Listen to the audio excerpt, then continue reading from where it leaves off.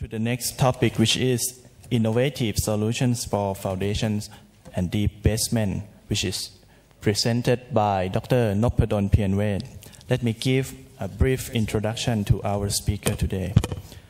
Dr. Noppadol Phien-wej, he graduated his bachelor degree from Chulalongkorn University, Thailand, and then he continued his postgraduate study at the University of Illinois at Urbana-Champaign, USA, uh, focusing on geotechnical engineering.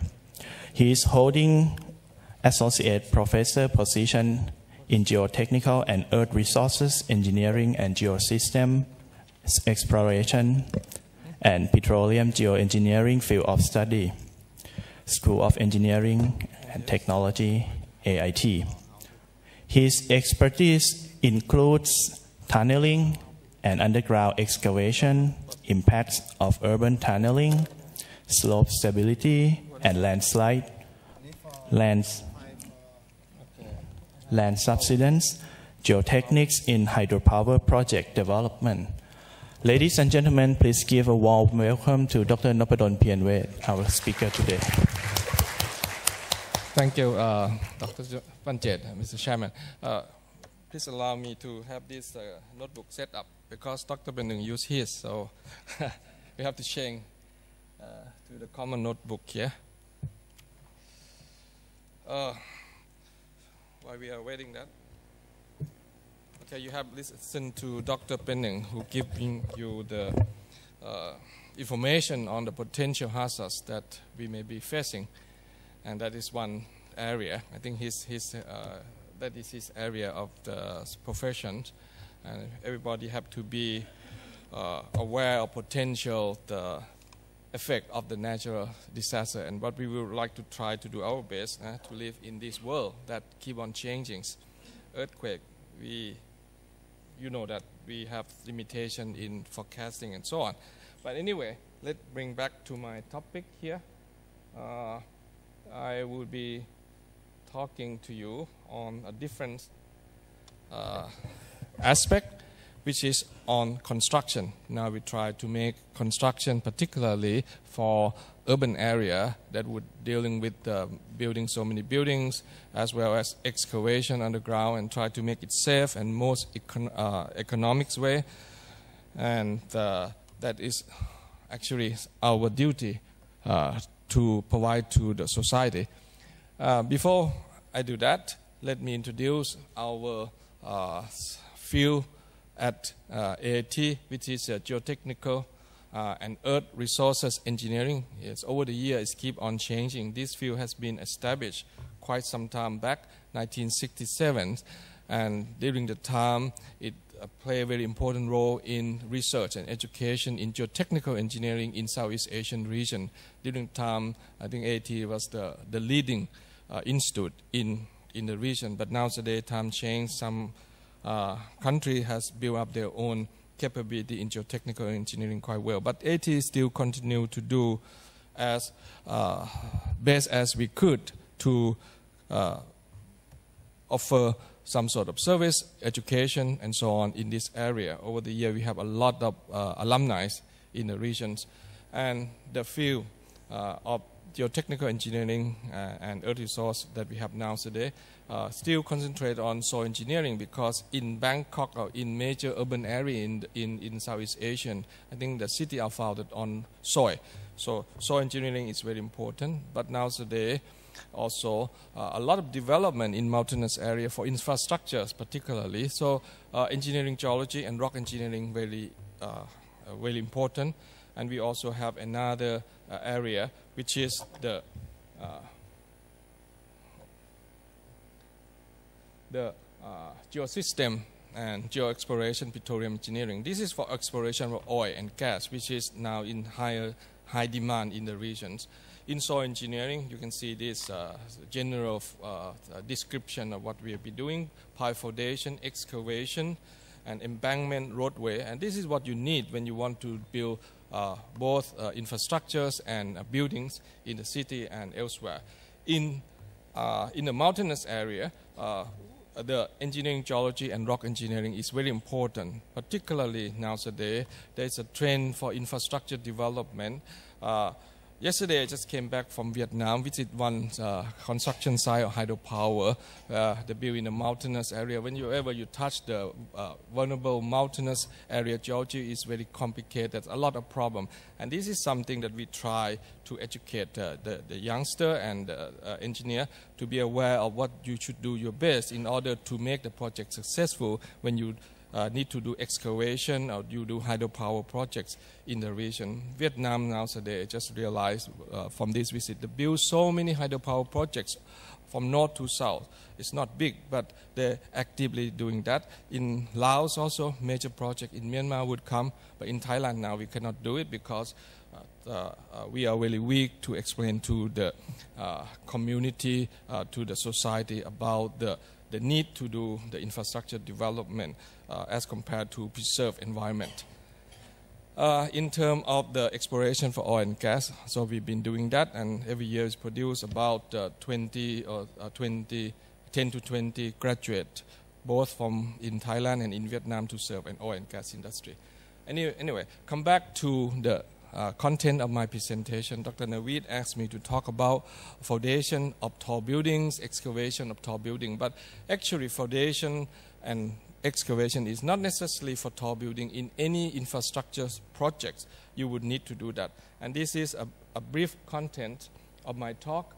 The first part, uh, we talk about deep excavation, foundations, and some new idea on improvement of or improving the design of the foundation in order to make the uh, construction uh, uh, feasible. For example, Dr. Ming just mentioned the very high-rise building in Bangkok that demand very high capacity foundation. Sometimes the soil cannot yield such a high capacity. How can we do that in order to make the construction uh, uh, possible and it doesn't cost so much? So in city and uh, area like this, urban development is very uh, is ongoing. And this is Bangkok. Some time back now, today you look at Bangkok, it not doesn't look like this anymore. There's more building come up. Uh, Hanoi uh, Ho Chi Minh City, uh, just one year back, you go back and you see big difference. Uh, the, uh, uh, during the few years back, Vietnam has developed a lot of real estate and building construction in, in the country. But nowadays, due to the economic crisis, it stopped from the private or real estate. But it's still going on on the infrastructure. They are building uh, now uh, first subway projects and uh, in Ho Chi Minh City, and the second one will come up. When we talk about the use of the in the urban development, is this a at the end to make use of underground space as well as build, building? And you will have something like that. Underground space would be uh, utilized. So in that case, you would need some sort of construction, construction next to the building, and you sometimes you want to do building next to the underground structure. So you cannot get away with the proper design of uh, pile foundation, of foundation for big building and also excavation. So deep excavation and foundation is really important for geotechnical engineering. And this is a photo showing to you uh, construction. This one is in Bangkok. On this one here, you can see here excavation is relatively open, but you come down here with the internal support. When you have to go deeper here, there's a lot of uh, you know lateral support put in and pile foundation. There's various type pile foundation that has been used in Bangkok, driven piles. But when you go to large capacity pile, you have to use go deep and deep. So driven pile is not possible. So you have to use uh, bored piles. And in this this photo is just the photos in Singapore Marina Bay area that they still do a lot of development high-rise building. And you may see here that uh, in this here there's pile foundation. A new building will come up. So the work on pile foundation and deep excavation is over there. So I will use Bangkok as a case example. Bangkok would be, uh, it's good to, for, to use as an example for geotechnical engineering education or learning because Bangkok uh, founded on uh, very weak uh, subsoil condition, soft soil that Dr. Pennung had mentioned and below you have a, a series of layer of soil continue for very great depth.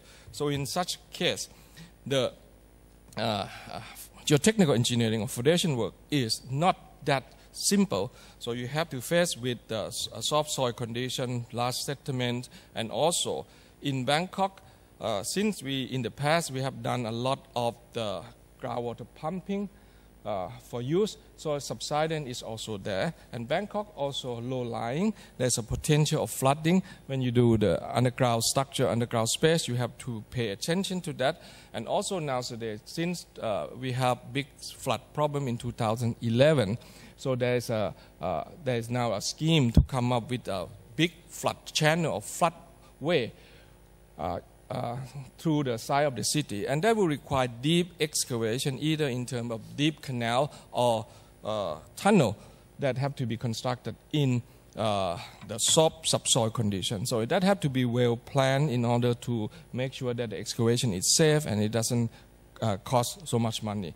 And this is a situation that you may see because of the soft ground and condition as well as land subsidence from this well pumping. We are facing with not only capacity of the foundation to resist the load of the building, but also settlement. Settlement is a big headache. And how can we prevent this or whether you, we can cope with such a level of settlement cracks, how much we can tolerate. You cannot design a structure saying that no settlement and no cracks at all in such a geologic setting.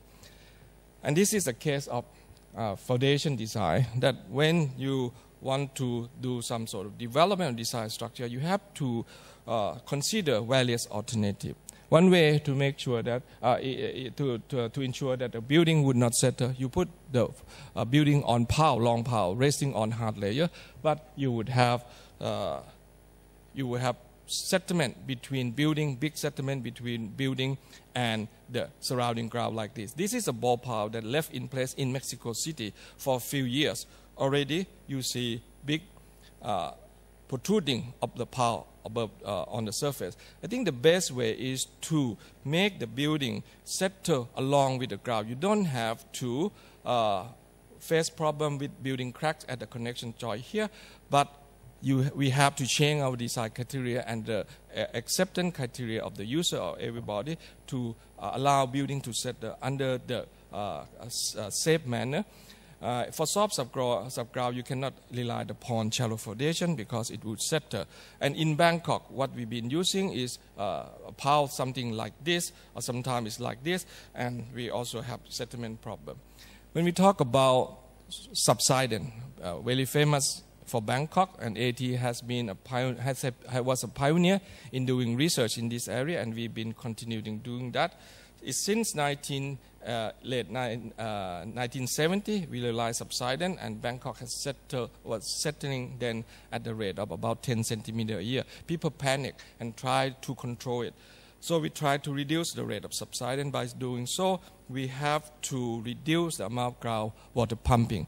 So we success to do that over the, uh, the, uh, the, following uh, 20 years after the first notice of subsidence.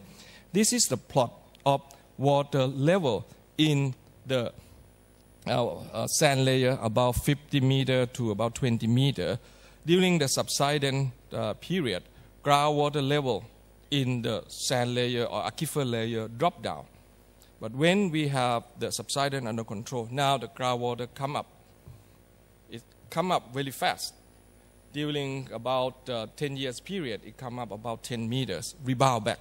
So people are happy because subsidence now seem to stop. But it's create, create another problem because when groundwater come up, it reduce soil strength, it reduce pile capacity, it increase uplift pressure to the underground structure. For the structure that doesn't have high load sitting on top like a tall building, there's a potential of floating up of the structure. So this is a problem that we are facing at the moment and we try to control the rebound groundwater level in such a way that it would not create uh, adverse effects to the foundation of building to the underground structure. So that is a thing. Okay, let me come to the deep excavation uh, uh, aspect.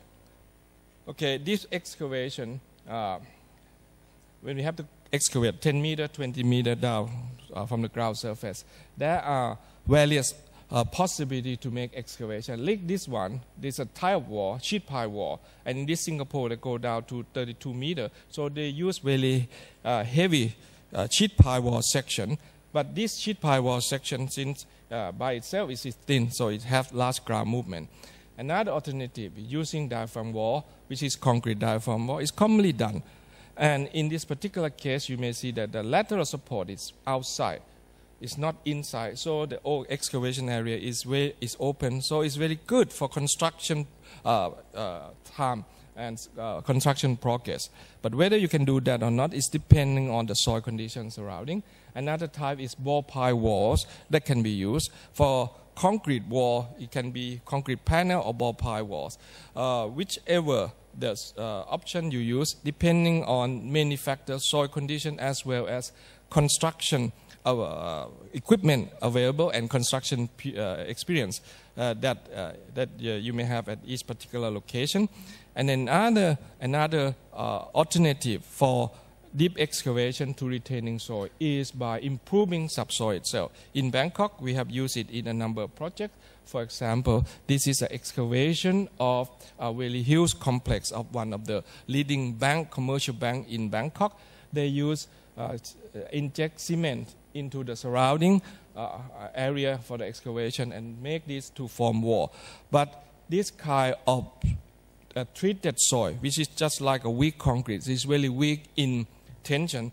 So in order to improve that, uh, we AIT have done some sort of the, uh, research to see instead of making plain concrete mix, uh, uh, cement mixed with soil, put some sort of insertion of timber pile or uh, small size uh, RC pile inside and what would be the capacity increase. And this is a plot of the lateral load capacity and the lateral displacement. And you can see here with some sort of improvement, uh, insertion of the, this reinforcement here, the capacity of the soil cement column increased significantly. So this is a trend now that we are uh, uh, in Bangkok uh, uh trying to adopt.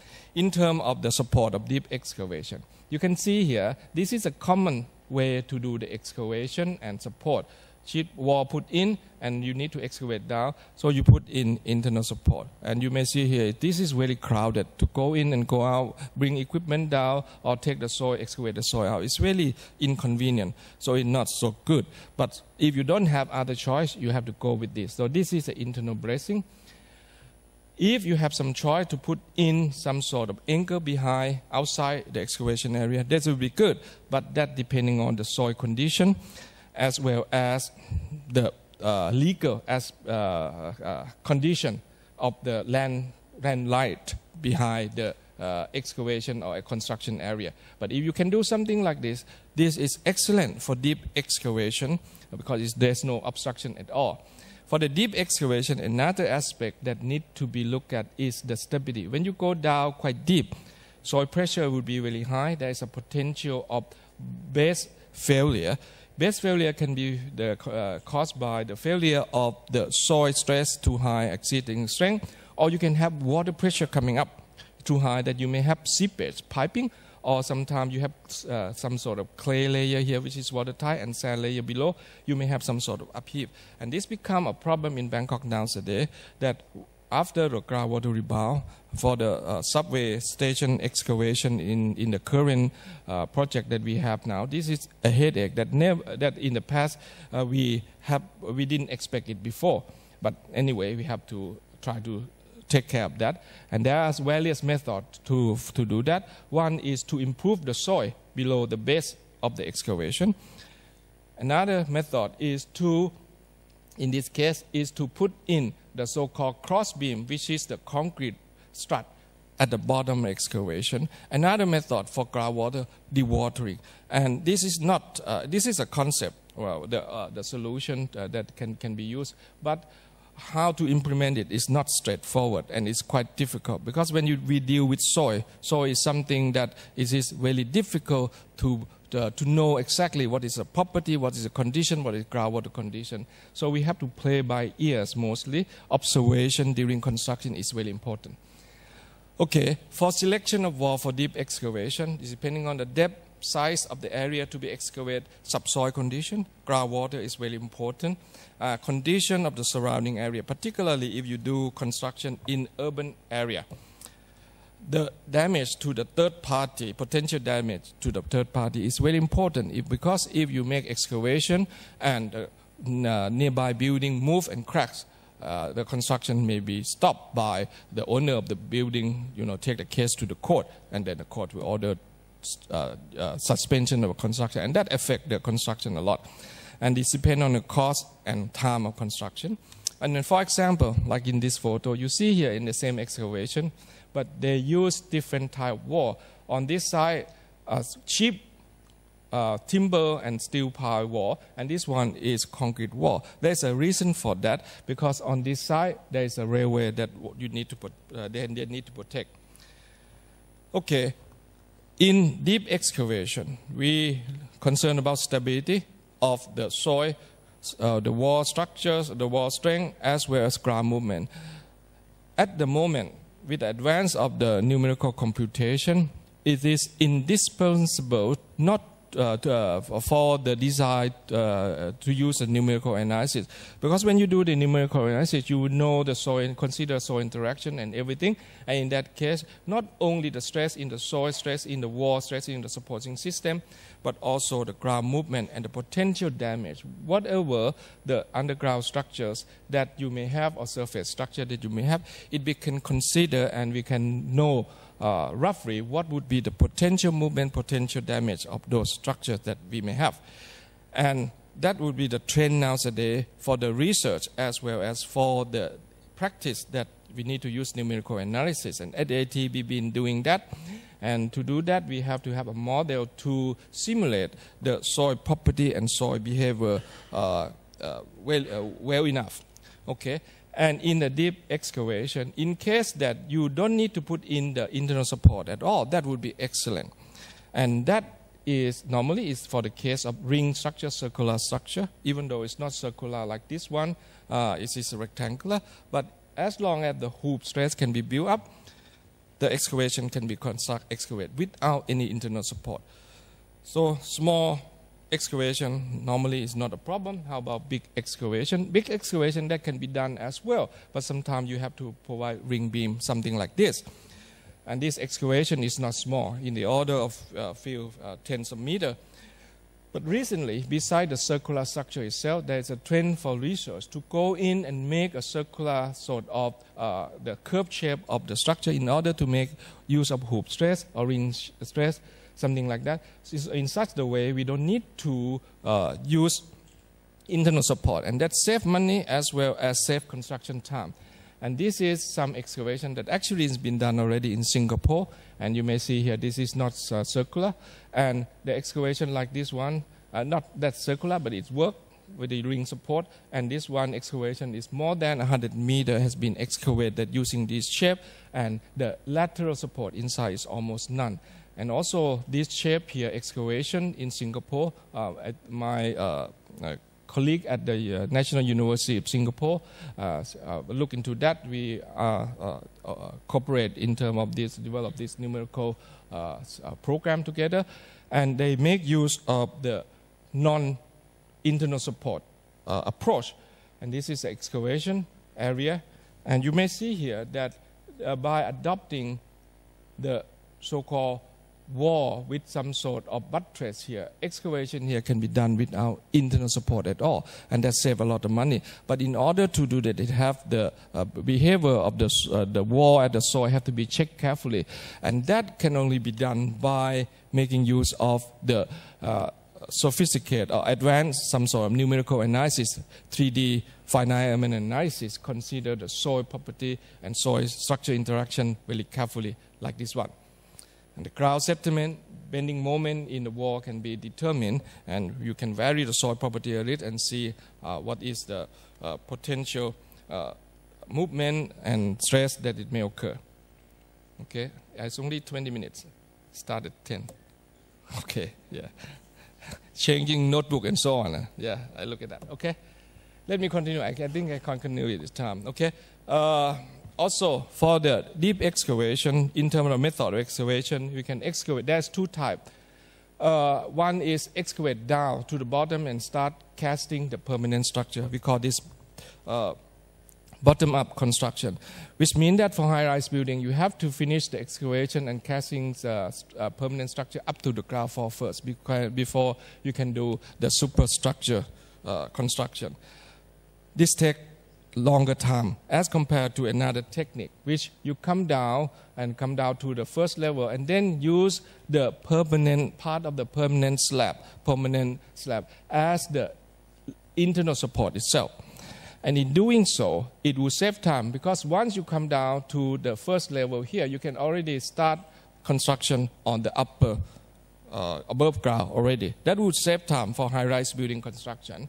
But for this technique, there are some, some constraints. For this technique to, uh, to work, you need to preform column to support the slab, part of the slab that you will cast and use as the lateral support. We call this preform column. They're using I-beam inserted in the bored pile down below here. So there's some constraint here. Sometimes if the technology and construction method is not good enough, there will be deviation and uh, of the uh, preform column as well as bored pile here. That may affect the final column position of the building. So this is something that can be looked at and try to improve in order for, uh, for us to utilize this technique go deeper and deeper for deep excavation. But at the end, if that can be done, the top-down method, even though it may be some sort of slightly uh, uh, cheap, uh, more expensive, but from time of uh, from point of view of time construction, it will save a lot of that. Deep excavation is very important for infrastructure uh, uh, development in urban area. For example, in this case, it's a subway project in Bangkok that we are doing now, extension of Blue Line uh, three deep excavations, uh, four deep excavation station, and also we have coming up here in Bangkok Orange Line and Blue Line that will be underground.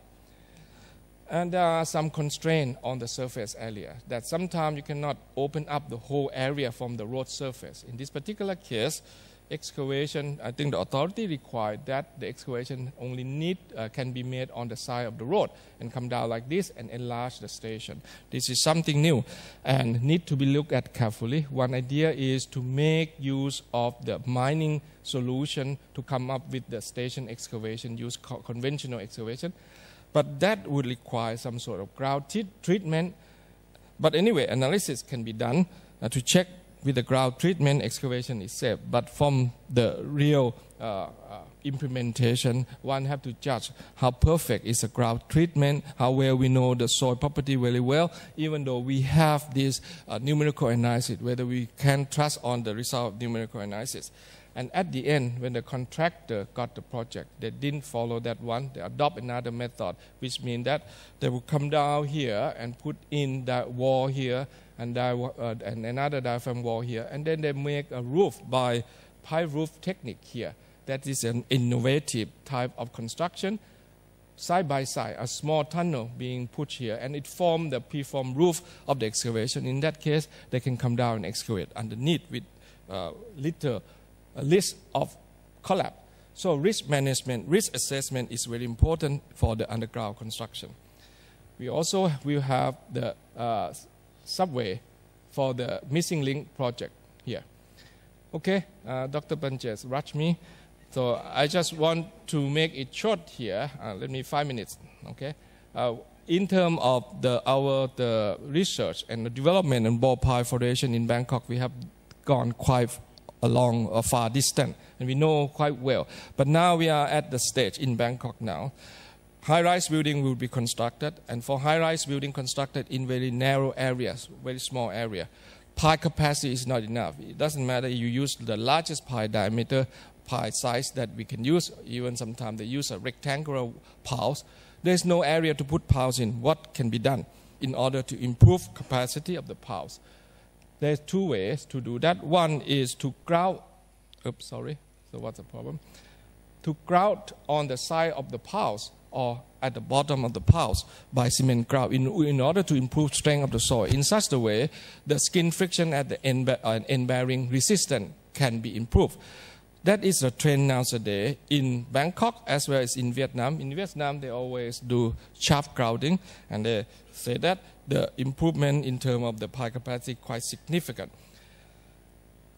But for Bangkok, the situation is that even we do something like that, for high-rise building, the capacity of the pile is not enough. So what is the solution then? The solution, and one of the solutions is that if we have uh, foundation that is deep enough, instead of design pile to take the structure load 100%, let's make the soil share part of the load. That is PIRAF design concept.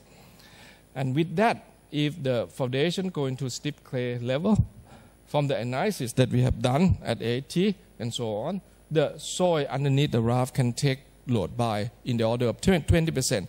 That is a significant saving. But in order for the design to be done that way, okay, there must be a careful analysis. For example, in this case, this is the building in Dubai. They call it this is a dancing tower, three towers, and the design with concept, same concept that pile would take part of the load and soil underneath would take another part of the load. And to do that, exactly which pile would take how much load and what is the stress in the foundation and so on, and whether the settlement of the foundation of the raft here is acceptable or not, we need this uh, 3D uh, analysis, 3D finite element analysis. Okay, a case of Bangkok that we have done and a doctoral student uh, that we've been doing a series of research and finally the doctoral student had finished here. So look at one case of Bangkok. This is uh, a high-rise building on the Chao Phraya River and the column of the building is like this. Since the area is very small, so the raft that they design have to extend beyond the edge of the building and to, in order to put in a number of piles and we did some sort of the finite element analysis showing here that if instead of using conventional way of doing analysis, beam or plate on spring type analysis that most of the structure engineer like to do, uh, and most of the, uh, the uh, design companies doing at the moment, we utilize a full-fledged continuum finite element analysis using piled raft concept. And what we come up is that, okay, let me show you at the end here the result. Okay, raft settlement. In terms of the load capacity, this is the so called rigorous 3D finite element analysis that treats soil as soil, not soil as spring and, and pile as spring only. We see that this is the load on each pile. Barrett is uh, yellow. The load calculated by Barrett or, or, on Barrett is much smaller than the conventional design that the structural engineers now is doing, much, much more. What it say here is that the original, uh, the current design practice that uh, people are doing now is too conservative, much too conservative, because they don't take into consideration correctly uh, uh the uh, soil and structure interaction. And, but by using this concept, we uh, come up with a uh, settlement of the building that is larger than normal calculation. But the settlement for the case of this in Bangkok it's only in the order of 40 millimeter, which is quite the same as what actually occurred. Even though the, uh, the some sort of plate on spring beam on spring give really small settlement. That is simplified analysis, not realistic, and too conservative. So this is what the message that uh, we at AIT try to convey to the uh, design uh, uh, company or the design engineer for high-rise building that this uh, piled raft concept with a proper analysis of soil structure interaction that need to use uh, some sort of advanced numerical uh, computation here is essential and if you do so you can save a lot of money and we also run some sort of analysis using reduced number of pile, half of the pile that they put in. Everything in terms of settlement and the load capacity of the pile is acceptable. And in terms of cost saving, if one use the some sort of adjust design, reduce the number of pile, re, uh, reduce the number of raft thickness, the cost in terms of reduction in the cost of the foundation is 35 million baht and that is 3.8% of the building cost. That is worthwhile to invest, actually. And now, uh, this is the, to be the tallest building in Bangkok, very sophisticated, constructed in very small area. In this area, like I told you, there is no, not enough area to put in uh, enough number of piles in if one were to follow the conventional design approach. So in this case, they use the piled raft foundation uh, analysis uh, approach to check that, and eventually it is very made it. Okay, so at, at, at the moment the construction come up already about that level. Okay, so that would be the end of my uh, uh, the presentation or talk today. So with that, thank you very much. Thank you, Dr. Noppadol. Uh, is there any questions from the floor? We could have maybe just one question, quick question. All right. Okay, everybody's hungry. Mm. So, okay, I have announcements to you. Okay, the first one, the presentation made over here today will be posted on the website AIT.